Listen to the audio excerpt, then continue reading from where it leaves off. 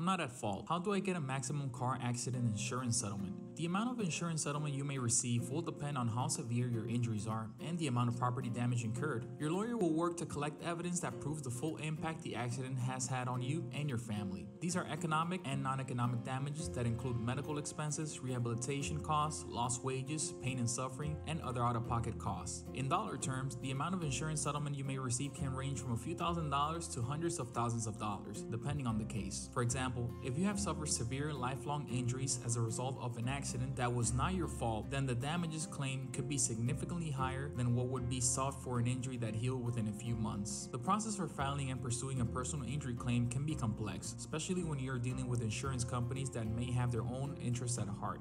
At Farahi Law Firm, we have a successful track record in dealing with accident cases and will provide you with the legal counsel needed to ensure that your rights as an injured person are protected. Don't wait, call us today.